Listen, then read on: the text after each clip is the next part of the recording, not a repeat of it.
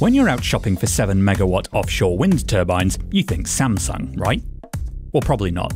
The brand is much more famous for its phones and flat screens. But arguably, the most important drivers of South Korea's biggest family business are these things. And for the first time in decades, the company's got a massive problem here. Samsung is under assault from all sides and they are getting stretched thin. Samsung is in this position of playing catch up, and that's difficult to do if you don't have growing revenue, if you don't have expanding profitability.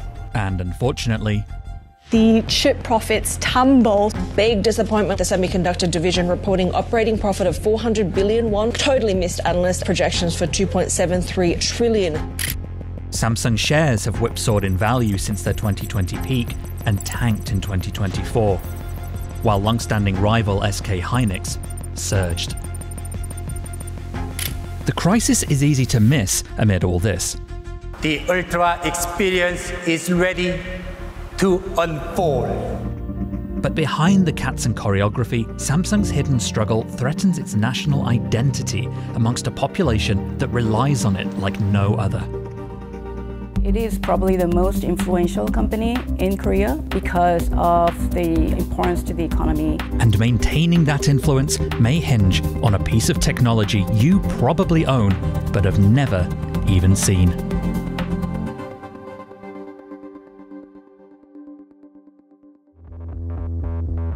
The Samsung Group comprises vastly more than just its flagship electronics empire. You can literally be born in the Samsung hospital, go to a Samsung school, live in a Samsung apartment, you work at Samsung, you come home, you put your food, which is made by Samsung, in the Samsung microwave and turn on your Samsung TV. It's a company with 400,000 employees all over the world. They make chips, they're in shipbuilding, they make apartment complexes. Samsung is the biggest company in the country. It is the biggest weighted in the Kospi Index, which is the local stock market, and as well as the biggest contributor to the economy by any study that you can see. Samsung, in any given year, makes up about one fifth of the country's exports. Imagine there's one company that's selling one fifth of all the goods produced in that country. I mean, that kind of comparison doesn't exist anywhere. You get the idea. A Korea without Samsung is a Blackpink show without the superstars or their iconic light sticks. Samsung is so tied to the health and well being of the South Korean economy that you just can't imagine a South Korea without it. So, why is such a scenario even being hinted at? Well, for years now, electronics have driven Samsung, and not just these things. Its major product is computer memory, so-called DRAM or dynamic random access memory. Those chips go into everything from smartphones to the world's largest supercomputers. Samsung Electronics' semiconductor business has typically accounted for between 50 and 70% of the company's profit every year, and is central to its evolving crisis so it's worth understanding how these chips work. Think about DRAM as a coffee cup. Imagine you want to drink as much coffee as you possibly can from the coffee pot, but you can't pour that coffee pot into your mouth, so you have to do it via a cup, right? Depending on the size of the cup, that will determine how much coffee you can drink in one go. Think of DRAM as that coffee cup. What Samsung's chips do is they hold that information ready for when the processor wants it. But what that information is and the kind of processors using it has evolved radically. AI has changed everything. Samsung, which dominated the memory market for decades, is now struggling to keep up with the latest technology. So, what went wrong? SK Hynix, lead the future! In 2013, SK Hynix and AMD teamed up to develop high bandwidth memory. It was the first product that was in the market. But at the time, it wasn't clear what it was going to be needed for. It was mainly for the gaming industry that they were kind of developing. It was a niche product. But that's often how things go in the semiconductor world. Build the stuff and let the industry figure out how best to use it. The chip industry, it operates on these three to five year cycles. You have to make massive billions or more dollars investments five years ahead of time sometimes. And, you know, within those five years, a lot can happen. And over the last five, a lot did.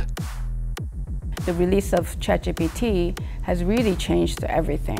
All of a sudden, there was a surge of demand for HBM chips, which is really ideal for um, AI applications. Remember this? AI needs vastly more coffee or data, and it needs to swallow or process it faster than ever. HBM, high bandwidth memory, made that possible and is now a fundamental component of the accelerators used to train large language models. At the time, Samsung hadn't invested enough in this kind of chip, which is a type of DRAM but significantly more profitable than its mass market counterpart. But a smaller, local competitor that had teetered on bankruptcy as recently as 2002 had. SK Hynix has come arguably out of nowhere to become a major rival to have unprecedented success against them.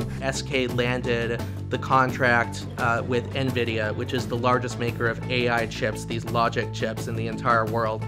You'll have seen the headlines about what that's meant for Nvidia's investors.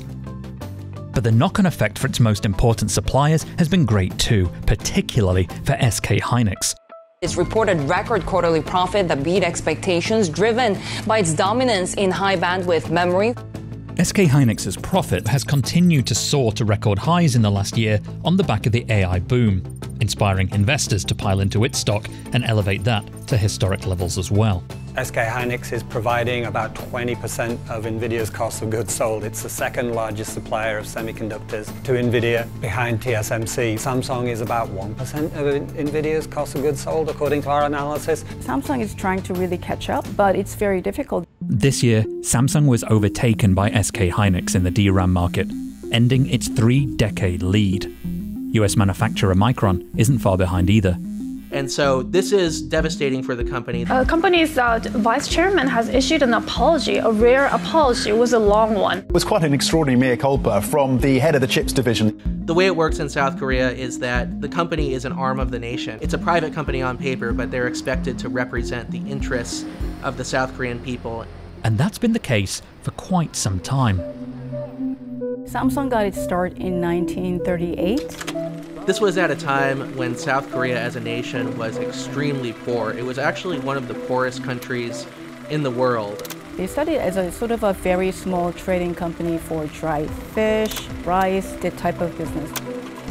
And gradually, on and on, they expanded into these more complex industries until they finally got later into shipbuilding, into oil rigs, into the aforementioned offshore wind turbines, and of course, into electronics, which are now at the heart of its problem. So, what does Samsung need to do? Well, first, it may have to win over the undisputed world leader in AI hardware. Samsung chips have been left out in the cold because they haven't passed the tests required by NVIDIA to become a contractor. All they've said publicly is we want Samsung to be better, we hope they'll get there, we're sure they'll get there. But clearly they're not buying from Samsung right now, according to the numbers. Samsung is now mounting an all out push into next generation HBM4, aiming to close the gap with SK Hynix. On recent earnings calls, Samsung executives have acknowledged as much, but they also say its next generation custom chips have been drawing great interest from the industry. But it'll take some time for the money to show up from sales of those. Samsung doesn't just design and manufacture its own chips, like those Nvidia needs. It also has a foundry business that only manufactures chips other companies design. And this is under intense pressure too, particularly from Taiwan's TSMC, which controls about two thirds of the global foundry market. The most recent quarter, Samsung has about 8% market share, and they're struggling to gain large customers. There may be some light at the end of a tunnel, though. In July, Samsung said it had reached a $16.5 billion pact with Tesla to produce its next but one generation of AI semiconductor. Some say that it's not really significant when you really break it down to annual numbers, but it is a big deal when it comes to its uh, foundry business that a lot of the investors have thought was actually dormant. That foundry battle is one the South Korean company will have to keep fighting, alongside the one with SK Hynix in the memory space. On the logic front, TSMC is just going over the horizon on everybody and is increasingly dominating that very profitable market.